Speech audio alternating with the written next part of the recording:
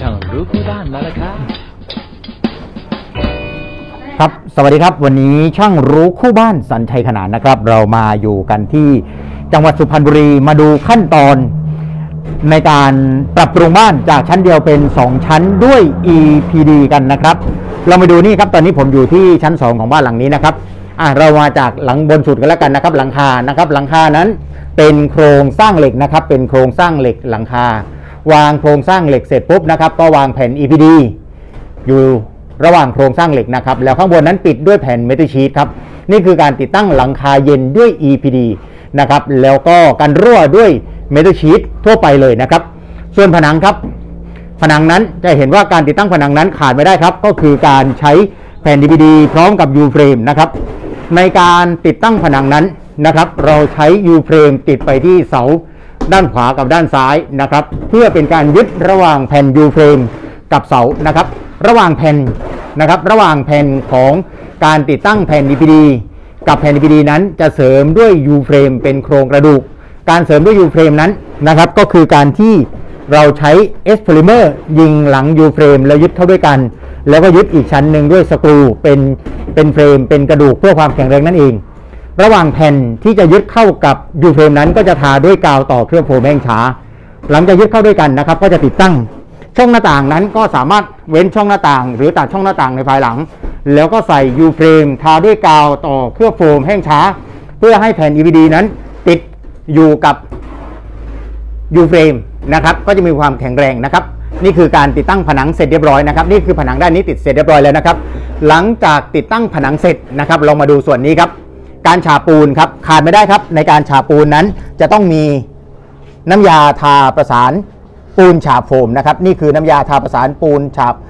ฝาโฟม ตราช่างรู้คู่บ้านนั่นเอง ใช้ควบคู่กับตาข่ายไฟเบอร์นะครับตาข่ายไฟเบอร์นั้นช่วยอะไรครับช่วยเสริมความแข็งแรงของปูนฉาบ วิธีการก็คือ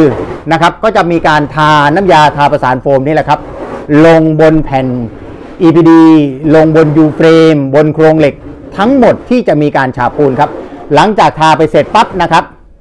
ก็จะฉาบปูนรอบแรกพอฉาบปูนรอบแรกก็จะยึดนะครับ ติดตะข่ายไฟเบอร์ เพื่อให้มันไปติดอยู่กับเนื้อของปูนฉาบนะครับ แล้วก็รอแห้งนะครับ แล้วก็จะฉาบรอบ2นะครับ นี่คือส่วนหนึ่งของขั้นตอนในการทำงานนะครับ จากขั้นตอนนี้นะครับ ปัจจุบันตอนนี้เลยนะครับณเวลานี้ที่เราถ่ายทำคลิปกันอยู่นี่นะครับ เป็นการทำงานนะครับของทีมงานพิทิศนะครับ ก็เป็นทีมพิทิศที่ทำอยู่ที่นี่นะครับ ตอนนี้กำลังติดตั้งนะครับ ก็กำลังติดตั้งการฉาบปูนกันอยู่นะครับเขาเรียกว่าฉาบรอบแรกกันไปเรียบร้อยแล้วนะครับ แล้วตอนนี้ก็เป็นการฉาบรอบ2นะครับเป็นการฉาบรอบ2อ่อไปอีกชั้นหนึ่งนะครับ ก็คือการฉาบรอบแรก ติดตะข่ายไฟเบอร์รอยแห้ง แล้วก็ฉาบรอบ2นะครับนี่คือการติดตั้งแล้วก็การทำงานของการฉาบรอบ2นะครับย้ำนะครับว่าการ ทำระบบผนัง EPD นั้นนะครับ การทำผนัง EPD นั้นขาดไม่ได้คือ 1 แผ่น EPD กว้างเมตรยียาว 3 เมตร หนา 3 นิ้ว 2 U frame ยาว 2 เมตร40 3 S polymer ใช้ยึดติด 4 กาวต่อเคลือบโฟม เพื่อเป็นการยึดระหว่างแผ่น DVD กับแผ่น DVD นะครับติดตั้งเสร็จ วัสดุที่ใช้ต่อก็คือน้ำยาทาประสานโฟม